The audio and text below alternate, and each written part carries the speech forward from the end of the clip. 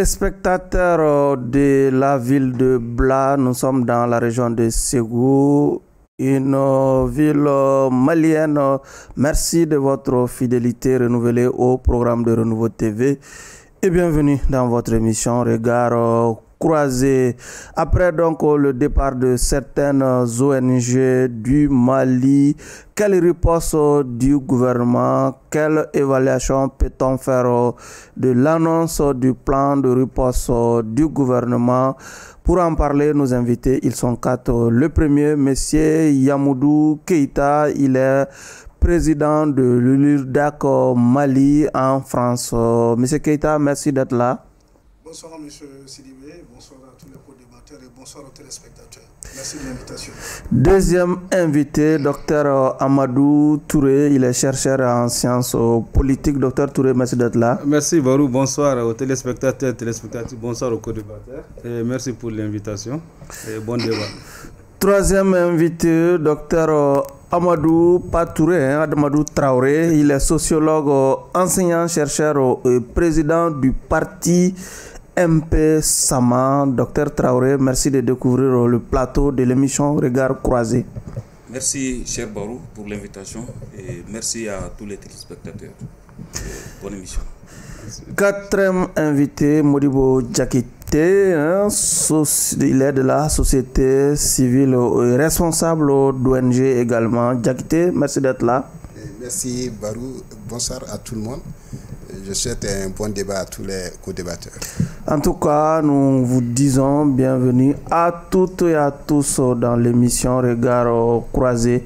Avant d'ouvrir les discussions autour de notre sujet principal, il nous revient que l'ambassadeur d'Ukraine en poste au Sénégal a été convoqué ce vendredi par les autorités du pays de la Teranga. Il est reproché donc aux diplomates ukrainiens de faire de l'apologie du terrorisme à travers une publication qualifiée par les autorités sénégalaises de propagandistes sur la situation sécuritaire du Mali Tenzawaten. Keita, réaction à cette décision des autorités sénégalaises? Encore bonsoir et je salue tous les membres de l'URDAC Mali à travers le monde, le Bureau national notamment. Alors, surtout, réaction... surtout ceux de la France? Oui, le Bureau national notamment et le Bureau URDAC Mali France aussi. Donc, euh, je salue vraiment toutes nos structures. Et une réaction à cette, euh, comme à ce geste, je veux dire, à cette interpellation de l'ambassadeur de l'Ukraine au Sénégal par les autorités sénégalaises, elle est à saluer. Je pense qu'il faut que les États, en tout cas du Sahel, se réveillent, qu'ils comprennent que le problème qui se passe entre le Mali, en fait, ce qu'on appelle le pays des trois frontières, la région des trois frontières, je veux dire, concerne tous les pays du Sahel en réalité. Donc c'est bien que chacun prenne ses responsabilités afin d'éviter toute forme d'ingérence, afin d'éviter tout, tout, comportement et toute situation qui peut envenimer la situation dans cette zone. Donc je pense que c'est une prise de conscience. Le Mali est tombé devant plusieurs pays qui aujourd'hui ont pris conscience.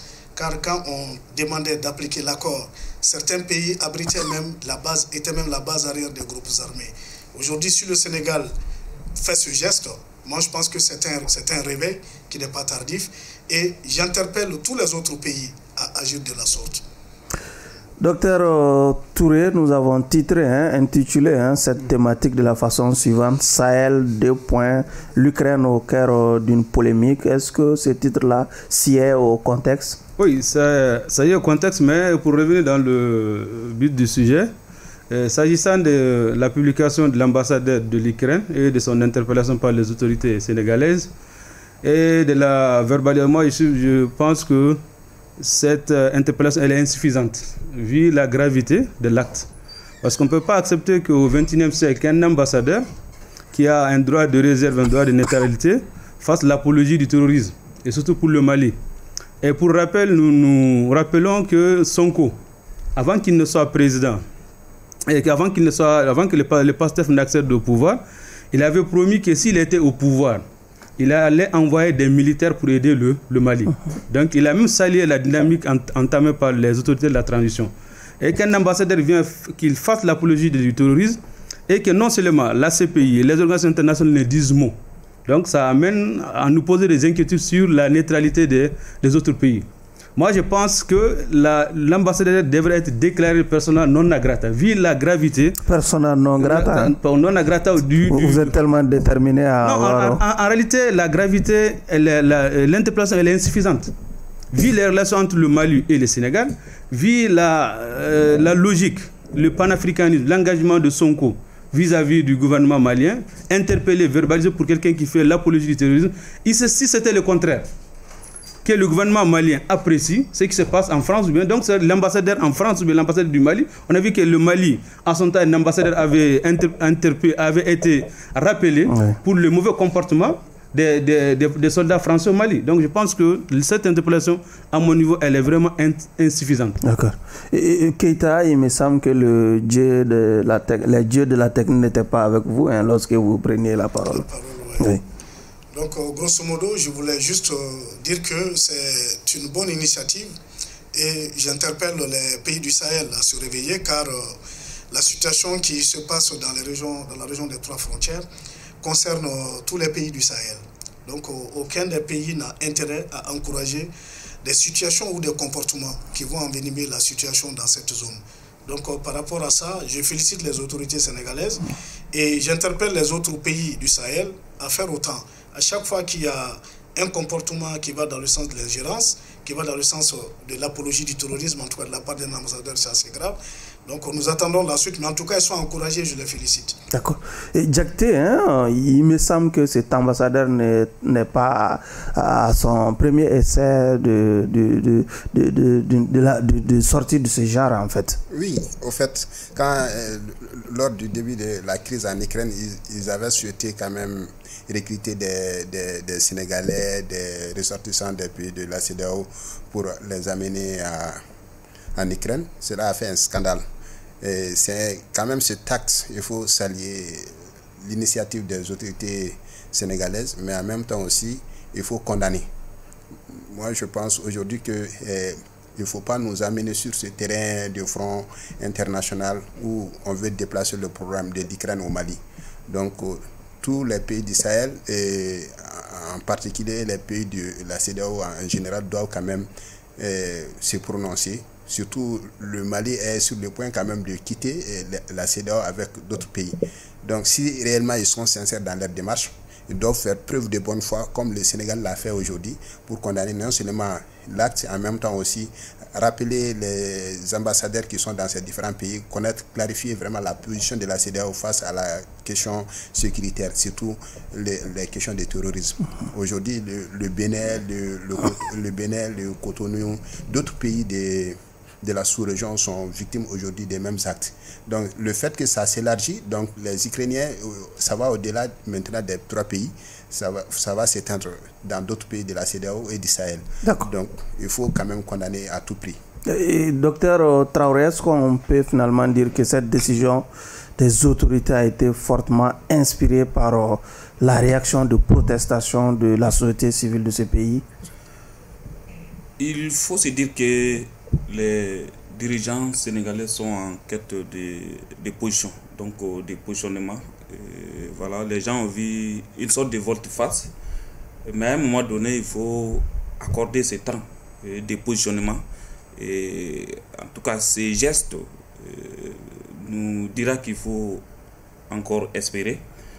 parce qu'à un moment donné, il faut qu'on s'inscrive dans la logique d'empathie et de vertu. Parce que le problème euh, ne concerne pas les seuls pays de l'AES, parce que euh, un pays isolé, ça n'existe pas. Donc, euh, un problème qui concerne le Mali.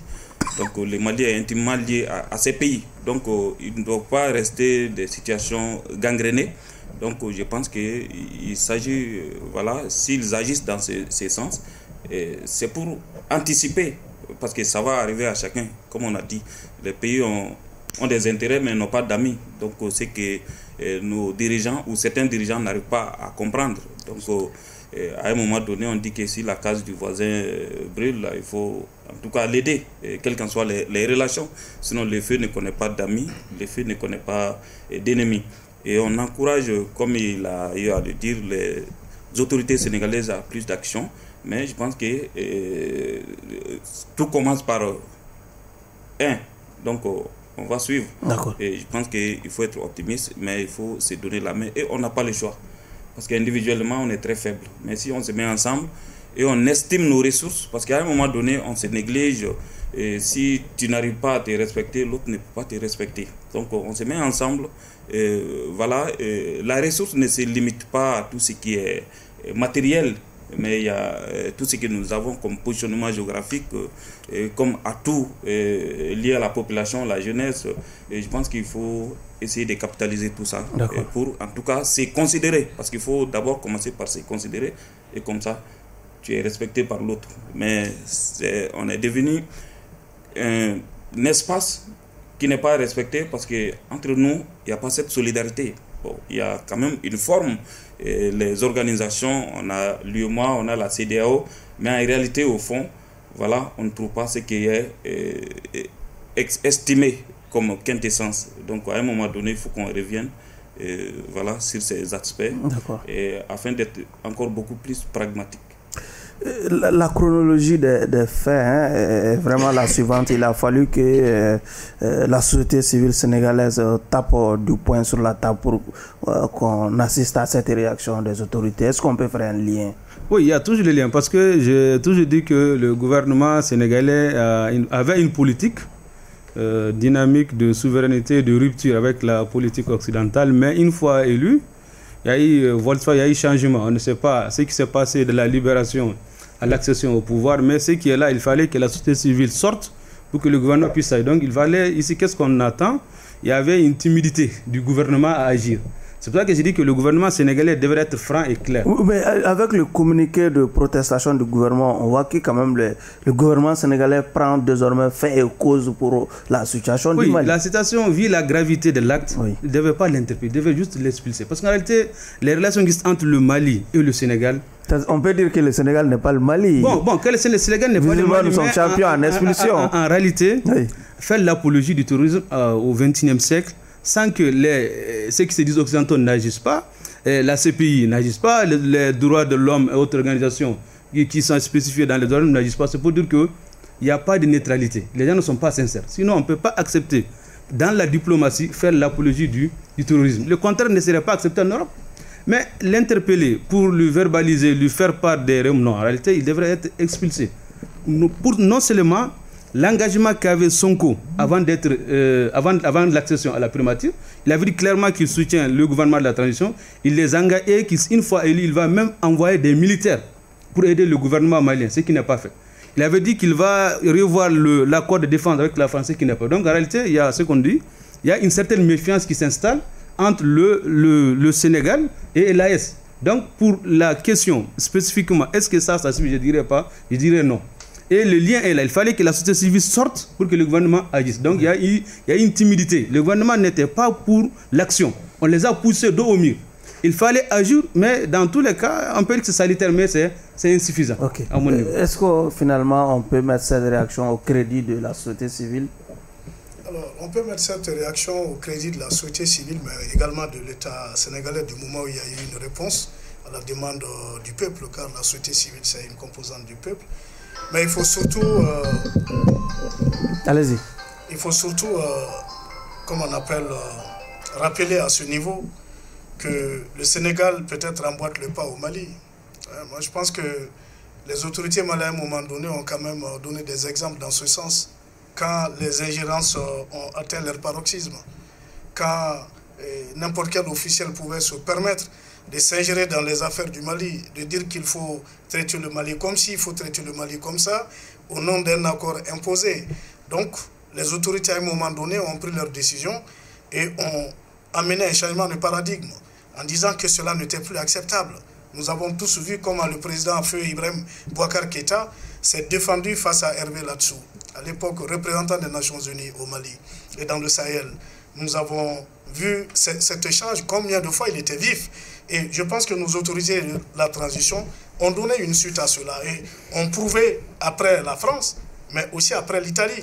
Car quand l'ambassadeur d'Italie a été convoqué après la convocation des Arapacis, des différents groupes armés pour le traité de Rome, les officiels maliens n'ont pas hésité à le convoquer et à lui faire aussi, à lui signifier qu'il outrepassait un peu ses règles. Donc moi je pense que le Sénégal emboîte le pas un peu au Mali. Maintenant, le crédit est à la fois à la société civile sénégalaise et à l'État sénégalais. Je comprends bien ce que M. Touré dit qu'il faut dire, bien sûr.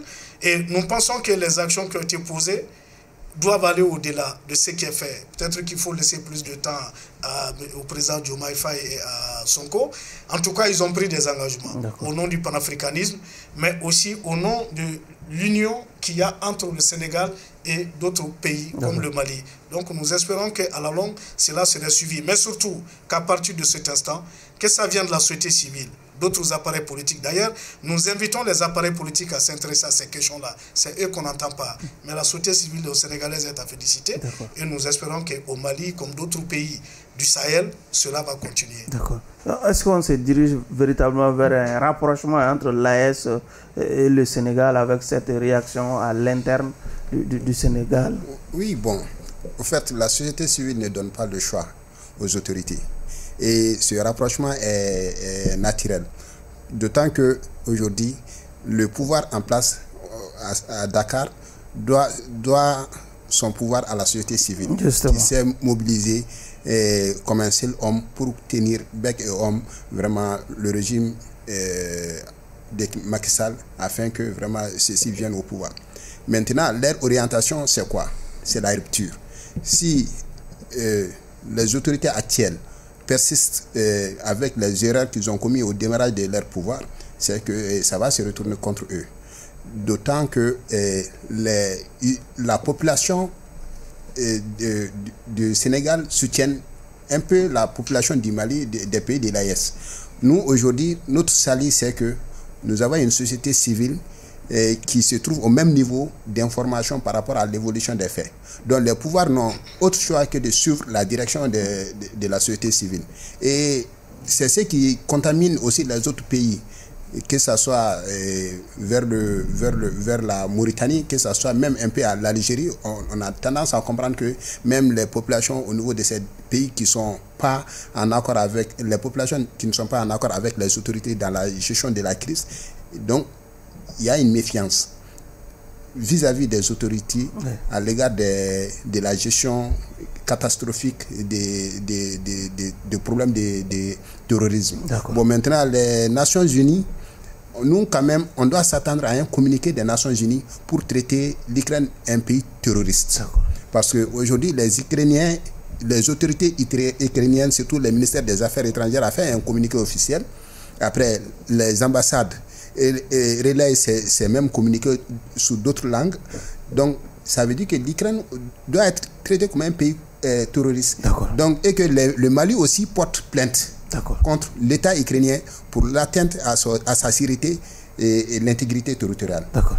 Docteur euh, Traoré, lorsqu'on essaie un peu de voir euh, tout, euh, tout ce qu'on a, toutes les actions de la société civile sénégalaise, est-ce que vous êtes tenté d'être un peu jaloux lorsqu'on est malien. Non, et dans la mesure où... Je suis en train de comparer la... Et si on fait cette comparaison, je pense qu'on on peut être fier de, notre société civile par rapport à, ce que je peux mettre entre parenthèses révolution, et voilà, qui nous a conduit euh, jusqu'ici. Oui, sauf que j'ai envie de dire que cette protestation devrait quand même euh, venir euh, du Mali d'abord avant que cela puisse attirer l'attention d'une autre société civile. Oui, bon, à un moment donné, il faut se dire qu'il y a une question d'organisation parce que la société civile sénégalaise est en, veille, je dirais ainsi, parce qu'on a senti ce qu'on peut appeler volte-face. Donc, ce qui fait qu'ils sont suivis pas à pas. Donc, tel n'est pas euh, forcément le cas ici. Et, nous sommes en majorité dans la même dynamique que voilà, les, les pouvoirs, les autorités. Bon, protester, c'est par rapport à ce que ceux-ci ont fait, mais est-ce que la société civile compte sur ces organisations? Telles que l'ONU, telles que, parce qu'il faut protester pour que l'ONU parle, il faut protester pour que telle organisation, mais est-ce que la société malienne, la société civile malienne compte sur la condamnation même de, de ces organisations-là, c'est la question. Voilà, parce qu'à un moment donné, et si on compte sur voilà, leurs manifestations, leurs positions, voilà, on peut le faire. Et je pense que c'est la, la, moindre des choses au Mali, et voilà, se mettre ensemble pour, pour se protester et soutenir les, autorités. Et on les fait quand même de plusieurs manières. Deuxième thème de l'émission, le Conseil des ministres le mercredi dernier a décidé de la création d'une société de compagnie aérienne dénommée Mali Airlines SA. Que faut-il donc comprendre de cette décision des autorités de la transition, docteur Touré Est-ce qu'on peut parler finalement de la renaissance de Air Mali qui est annoncée?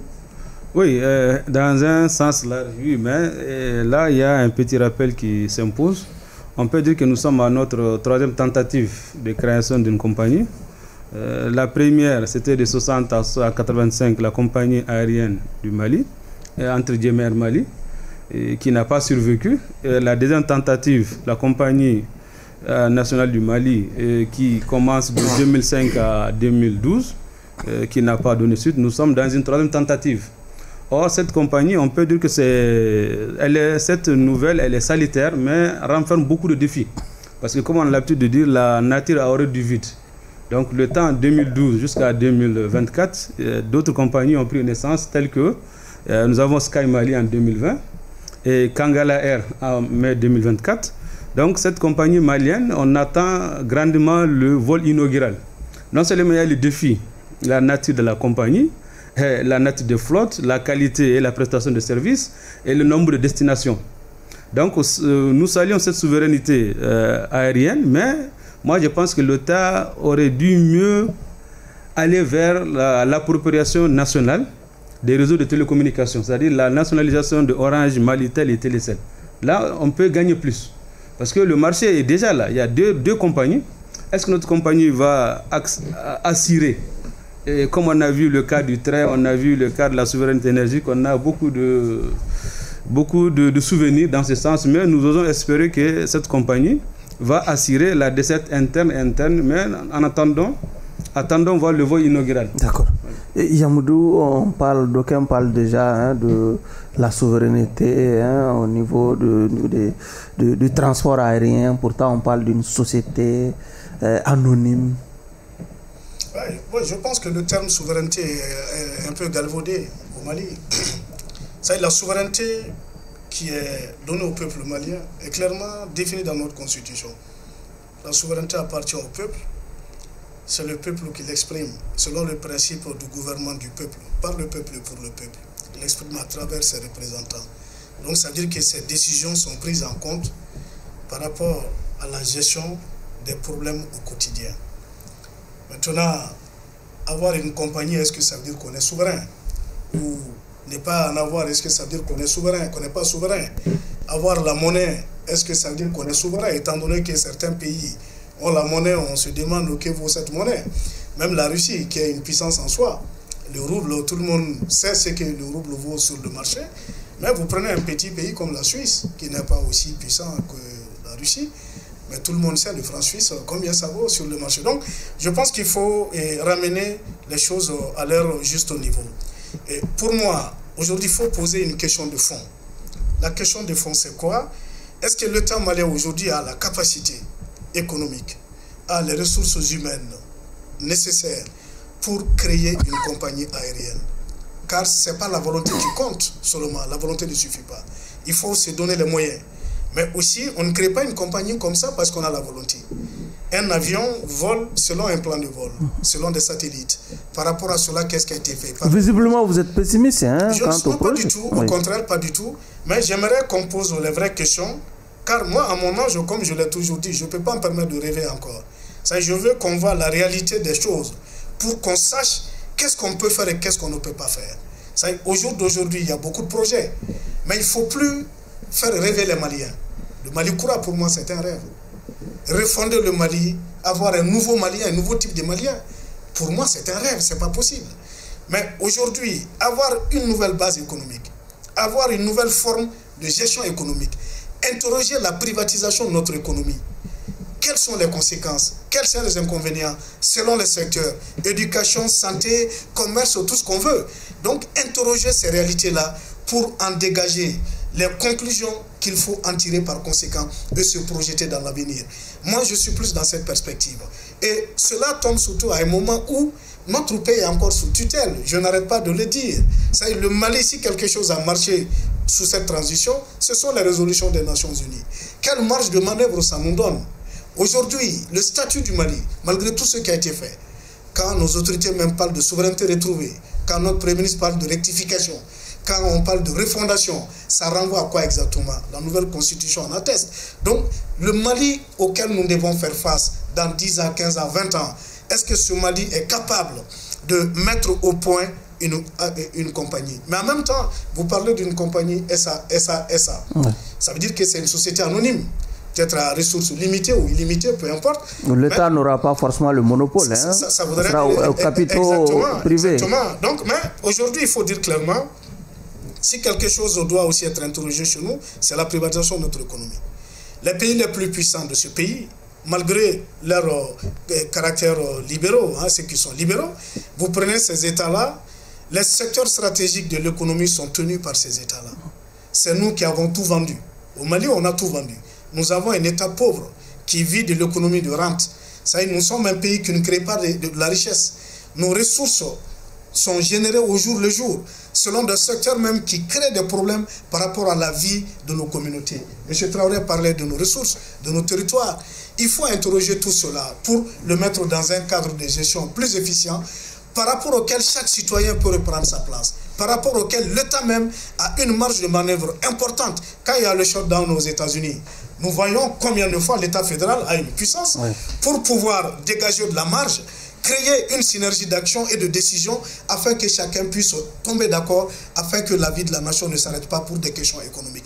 Nous voulons un État responsable, un État stratège qui maîtrise les secteurs stratégiques de notre économie, mais aussi qui a une pensée et une vision économique, qui permet de commercer, qui permet de créer des entreprises, de créer la coexistence entre privé et public sans que les privés ne viennent bouffer. Aujourd'hui, le Mali est croupisse sous la dette. Ça y est, nous sommes aujourd'hui dépendants des capitaux étrangers. Maintenant, est-ce que dans toutes ces conditions, surtout qu'on ne connaît pas l'état exact de notre pays, ça y est, jusqu'à quel point on est endetté?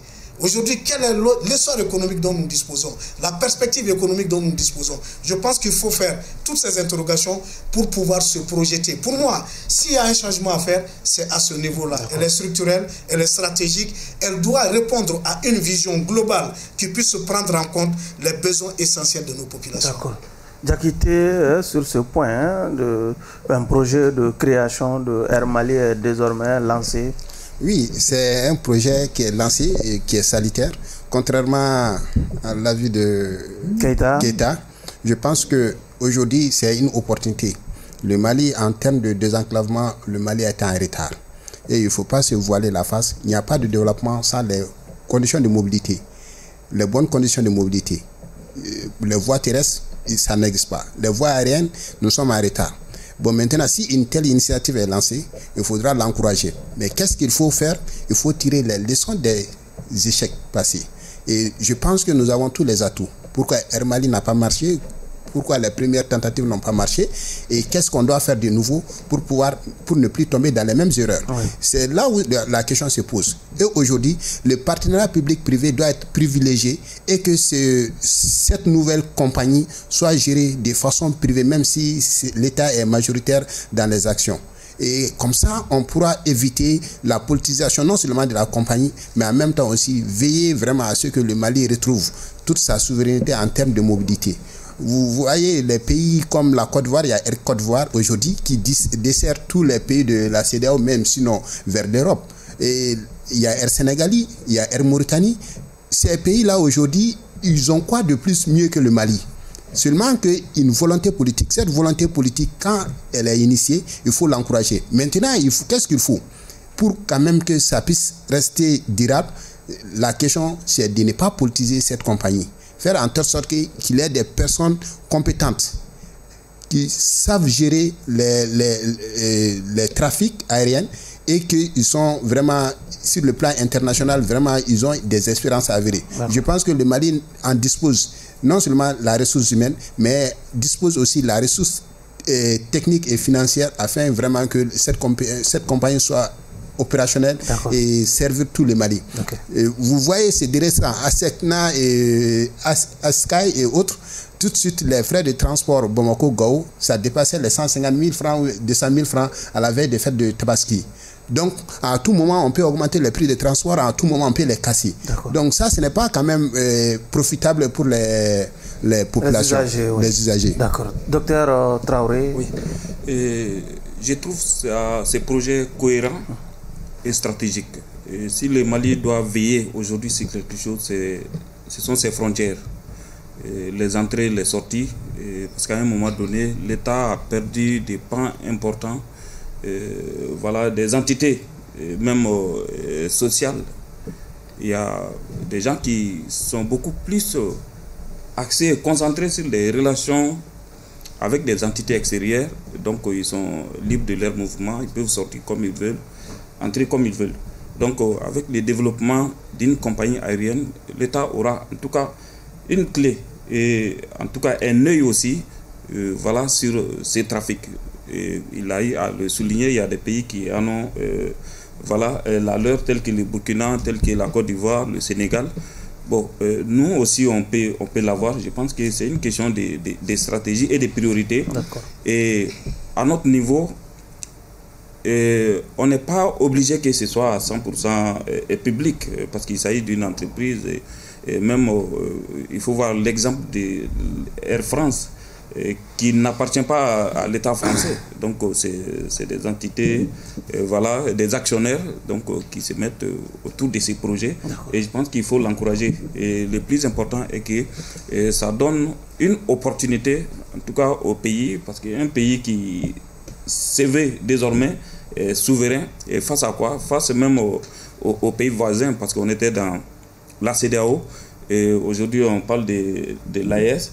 Donc, euh, on est une entité euh, territoriale, euh, régionale, mais il faut en tout cas une, compagnie. Donc, on, est, on a cette vision, cette vocation, mais si on reste en tout cas lié à d'autres, surtout sur certains aspects régaliens, tels que les transports aériens, je pense que c'est un, manque à gagner. Donc, il faut en tout cas encourager ces projets qui vont renforcer les projets des souverainetés. D'accord.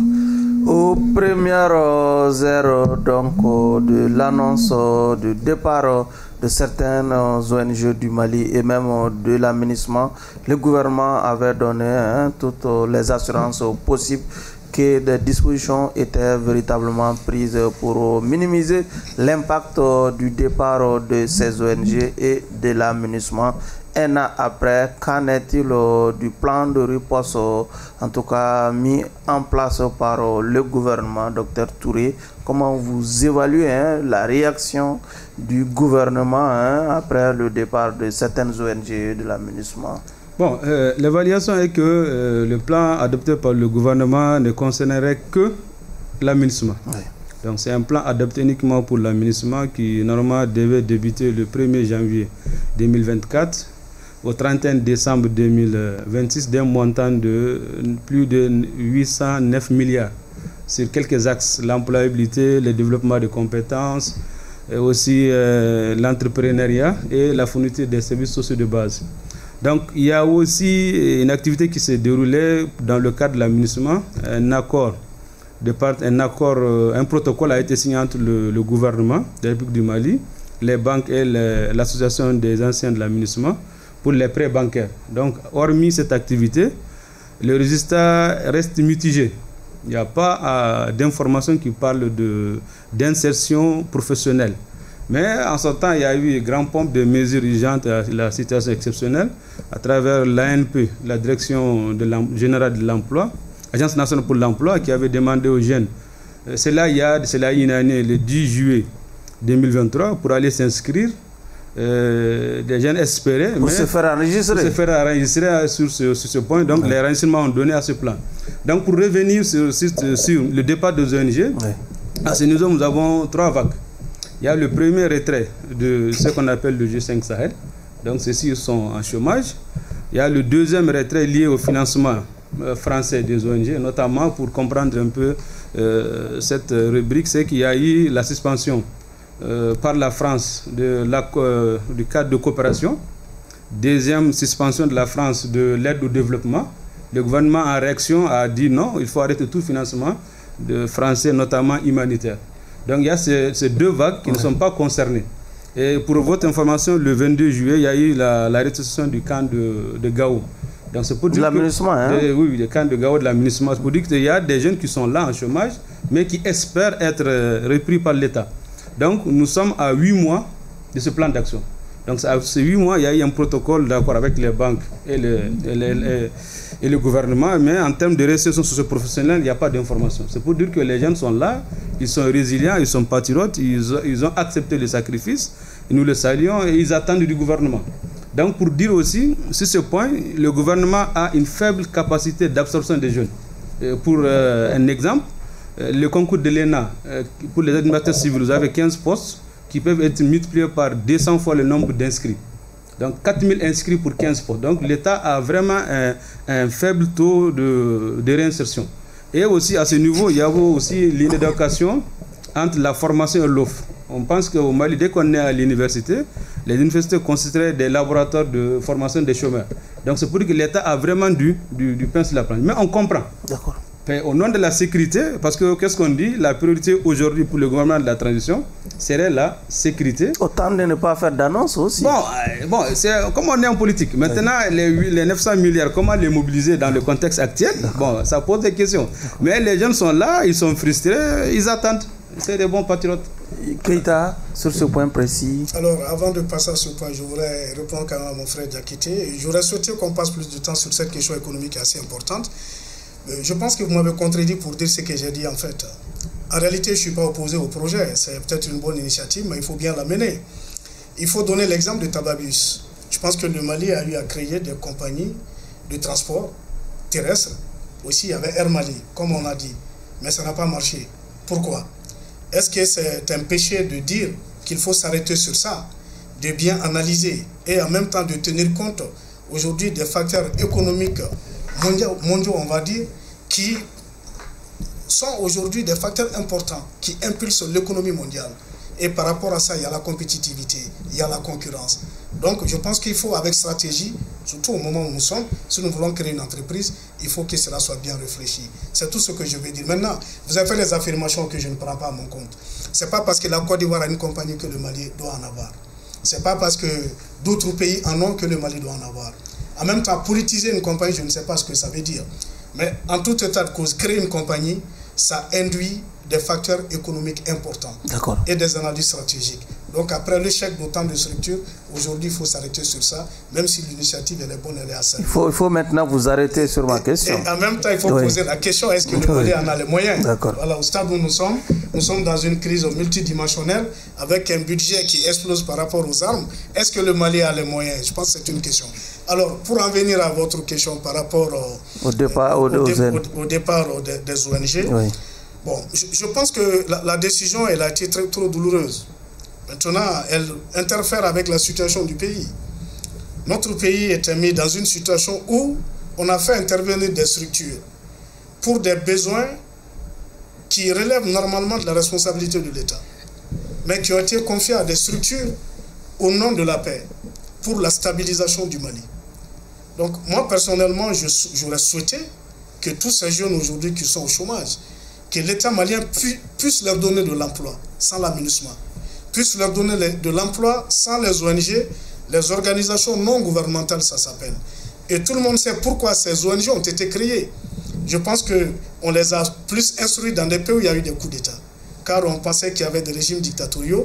Et ces ONG étaient une alternative à cette dictature pour que des bailleurs leur transfèrent des fonds par rapport à des projets spécifiques, afin qu'ils puissent implémenter ces projets-là, parce qu'on supposait que les États qui devaient gérer ces projets ne le faisaient pas de façon transparente ou que les fonds étaient détournés.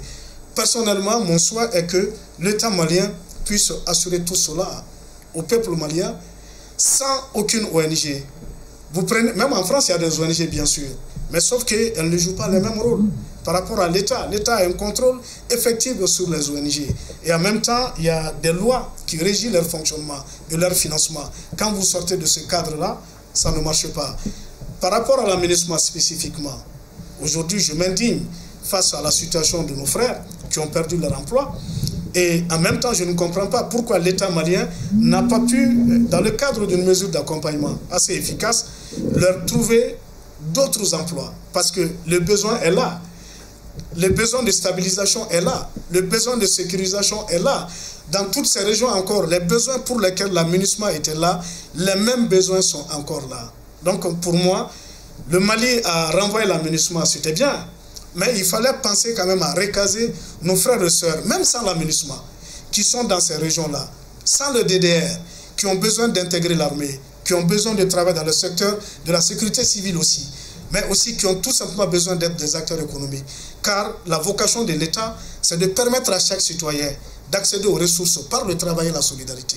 Donc moi je crois que notre État ne devait pas faillir à ce devoir. Et pour moi, il ne faut pas chasser au nom de la souveraineté. Il ne faut pas renvoyer qu'au nom de la souveraineté. Mais aussi, il faut donner de l'emploi au nom de la souveraineté. Maintenant, la question est plus profonde, elle va au-delà de la question des ONG. C'est-à-dire la capacité d'employabilité de nos États, qui est étouffée par des accords bétonnés. Je parle des ajustements structurels qui réduisent les capacités financières et la marge de notre État à donner de l'emploi je crois que ce sont ces questions-là qu'il faut poser. Mais sur le coup, aujourd'hui, il faut apporter une réponse et tout de suite. Le plan de riposte, moi, je ne le connais pas tellement, mais il n'y a pas que l'aménagement, parce que vous avez un bon nombre d'ONG qui ont été renvoyées au nom de la souveraineté. Je crois que l'État, au même titre, devait avoir une réactivité par rapport à la situation de ces Maliens, qui ne doit pas être laissés pour compte. Mais il n'y a pas eu que ça. Quand il y a eu aussi l'embargo, je pense qu'il n'y a pas eu de mesures d'accompagnement. Aujourd'hui, avec la crise énergétique, il n'y a pas de mesures d'accompagnement. Les entreprises ferment. Ça, un État responsable aussi n'agit pas de la sorte. Donc, moi, j'interpelle nos autorités à jeter un regard sur nos compatriotes, opérateurs économiques, qui sont les socles même de notre économie, pour les aider quand des situations du genre se présentent, surtout quand l'État en partie est responsable. D'accord. Jacquité, sur la même question. Bon, au fait, vous savez, euh, notre État, quand on prend le point de départ euh, du départ de ces ONG, c'est que l'État avait un, raisonnement, un argument que des ONG étaient impliquées dans le financement du terrorisme et le blanchiment d'argent. Maintenant, à la suite d'une des preuves que l'État s'est dit de les avoir, a quand même décidé de, d'expulser ces ONG.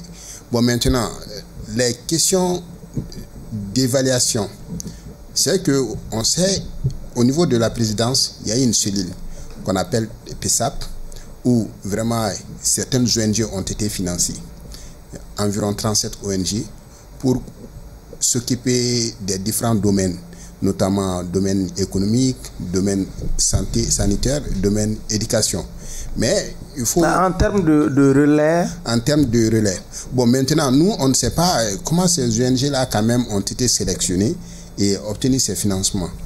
Maintenant, l'autre question, c'est que l'État aussi avait promis, comme euh, M. Maïga l'a dit, Touré. M. Touré l'a dit, c'est que il ressemble à un Maïga. Voilà, le mesure M. Touré.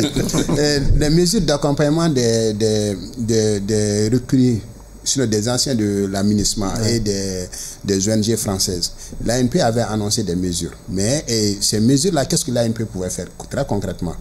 L'ANP n'est pas une agence qui crée de l'emploi, mais favorise, crée les conditions d'employabilité à travers l'intermédiation. Les formations aussi. Il y a les formations, il y a l'intermédiation. L'intermédiation, c'est que les compétences et, qui existaient au niveau de l'aménagement, qui sont répertoriées au, au niveau de l'ANP, l'ANP pouvait quand même utiliser ces compétences pour les placer auprès d'autres employeurs qui peuvent éventuellement avoir besoin de ceci. Ou encore, eh, aider ceci à, à financer leurs projets ou que ce soit les AGR ou d'autres activités. Bon, maintenant, est-ce que ceci, d'après certaines informations, est-ce que ceci, est en termes, le moment que le ministre partait, est-ce que ceci n'avait pas un, un, préavis? Donc, ce qu'il peut quand même remettre un tout petit peu les, euh, la situation juridique en cause. Sinon, ceci quand même devrait sur le plan juridique peut-être porter plainte, soit contre l'administration ou bien l'État, afin vraiment qu'il soit dédommagé. Voilà. Bon, maintenant, nous, ce que nous, en tant que société civile, nous savons que le départ de ces ONG ont joué quand même sur la qualité d'un certain nombre de services, surtout là où l'État n'est pas présent. On sait que l'État n'est pas encore euh, présent dans toutes les localités du Mali. Donc, il y a l'absence de l'État euh, permettait aux ONG d'intervenir. Donc, nous, on, on, est sur le terrain, on comprend un peu les besoins humanitaires, on comprend les besoins d'accompagnement sur le plan sanitaire, on comprend les besoins euh, d'accompagnement sur le plan éducatif. Donc, ces, ces localités où encore l'État n'est pas là, quel est leur sort? D'accord. Donc il y a tellement de défis à ce niveau que vraiment l'État doit mobiliser d'autres bailleurs, d'autres financements internationaux afin que vraiment ces localités, ces ONG puissent continuer, sinon les ONG locales ou nationales puissent continuer à aller dans ces zones.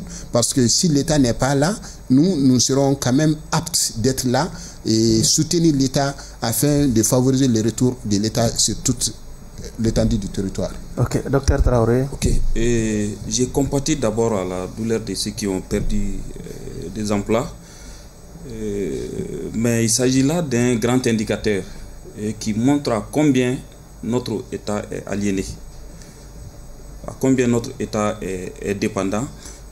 après le secteur privé, la fonction publique, ce sont les ONG qui, viennent en termes voilà, de création d'emplois. Et à un moment donné, il faut se dire que c'est une grande insuffisance pour un État euh, qui a la responsabilité euh, d'assurer quand même le bien-être de la, la, population. Donc pour ce faire, euh, on ne doit pas trop compter sur les ONG et dont l'intervention ne doit pas être structurelle. Et ça doit être conjoncturel, voilà, en cas par exemple des inondations et autres, les ONG peuvent venir. Mais si ce que nous voyons, c'est devenu une dépendance, hein. une dépendance. Donc il y a même une partie des, des, pouvoirs, des compétences de l'État et je dirais, je dirais pas transférer, parce que transférer c'est fait sciemment, mais quand même entre les mains de ces ONG. Il faut aller dans les communes. Qui construit les, les, les, écoles, les, voilà, les, infrastructures, qui les réalise. Et la population compte plus sur les ONG que sur les élus. Et les élus aussi se vantent euh, voilà, euh, avec les, les, réalisations des ONG. Et cela n'est pas normal. Donc, euh, euh, je pense à un moment donné, euh, il est nécessaire de se reconcentrer et voir des mêmes se fermer pour se concentrer sur ce qu'on a. En tout cas, nos ressources, nos compétences, et voir ce que, voilà, pour avoir jaugé notre capacité, donc en fonction de notre développement.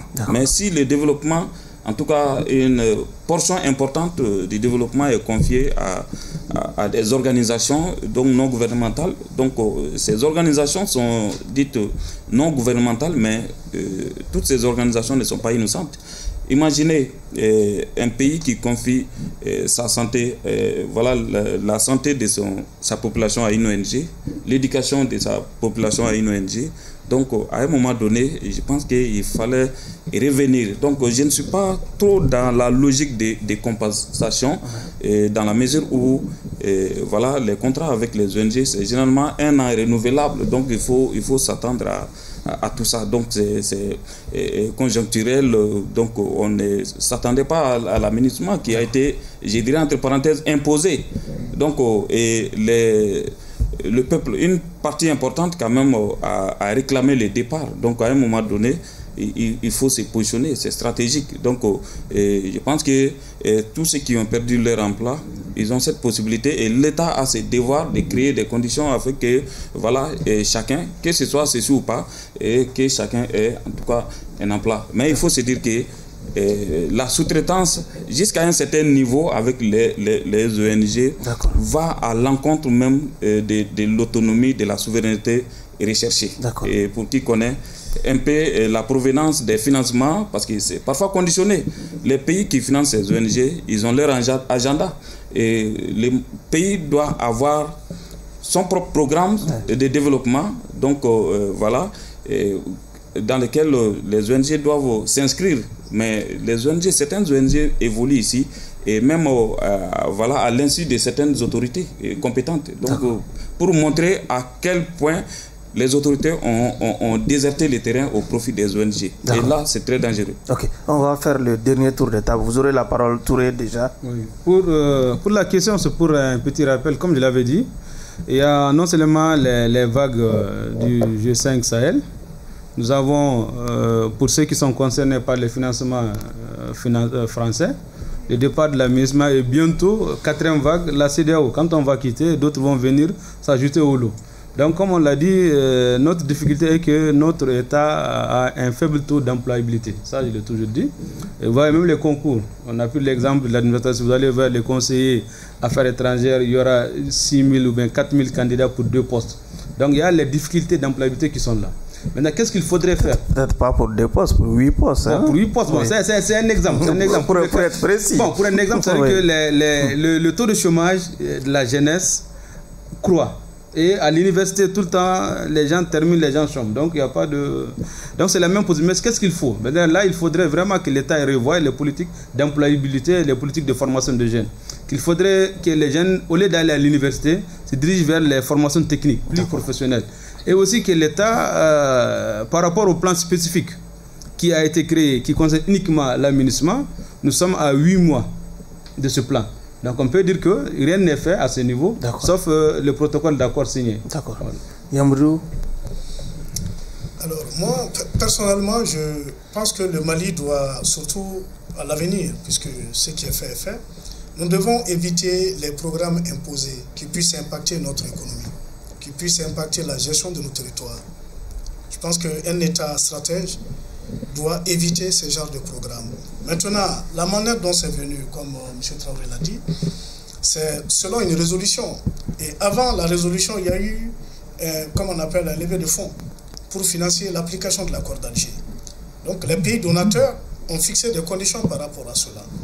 Mais avant ça, avant cette situation même, on était dans des politiques sectorielles où on avait des programmes de développement décennaux Hein, il y avait le PRODEJ, PRODES, ainsi de suite, qui étaient financés aussi par les partenaires techniques et, financiers.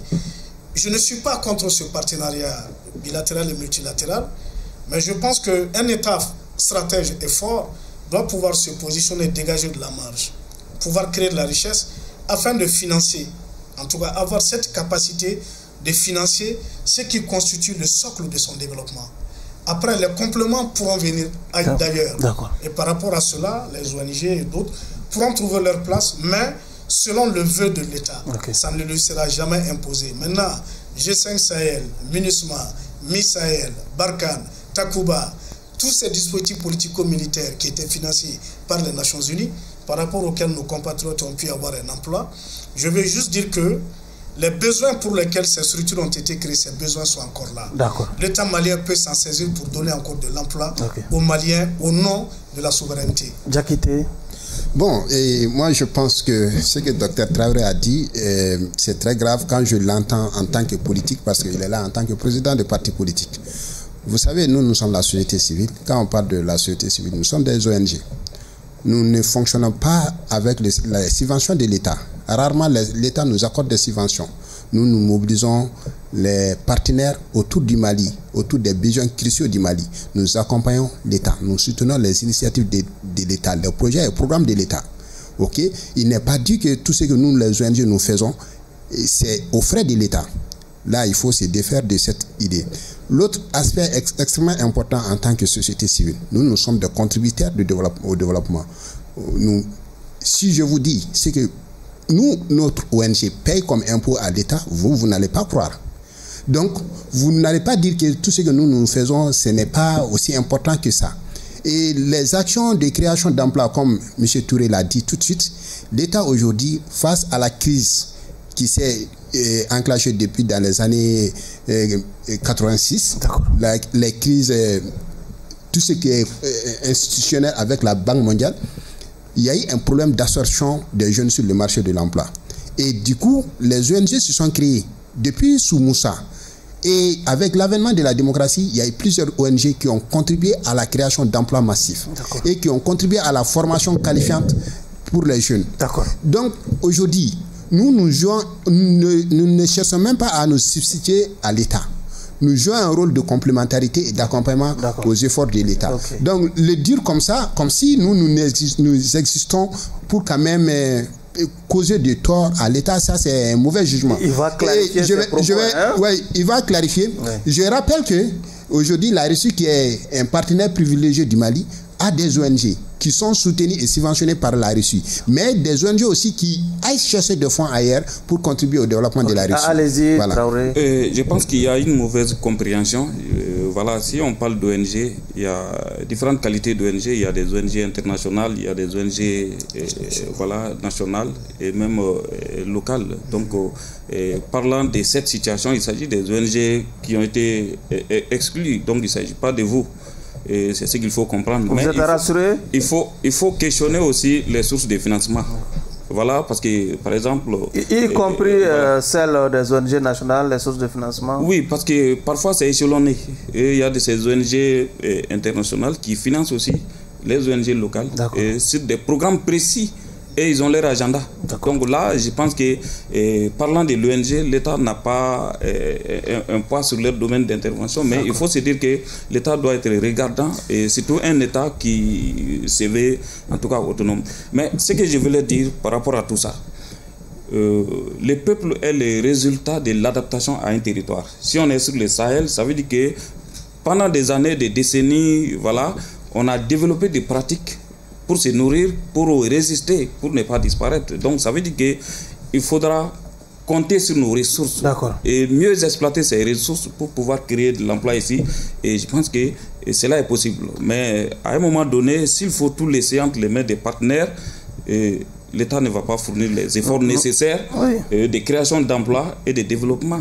À un moment donné, en tout cas, il faut À, un moment donné, il faudrait que vous laissiez aussi la parole hein, pour que je puisse euh, conclure euh, l'émission. Nous sommes malheureusement au terme des débats. Nous, so- nous- notre, nos invités étaient donc euh, M. Yamoudou Keïta, il est président de l'URDAC euh, Mali, volet France, et Dr Amadou Touré, chercheur en sciences euh, politiques, Dr Amadou Traoré, sociologue, euh, enseignant, chercheur, qui ne voulait pas laisser la parole. hein. Il est aussi président du MP, MP Sama et Moribo Diakité, société civile. Merci à vous de nous avoir suivis. Toutes euh, nos compassions hein, à cette euh, population sinistrée de la ville euh, de Bla. Au revoir.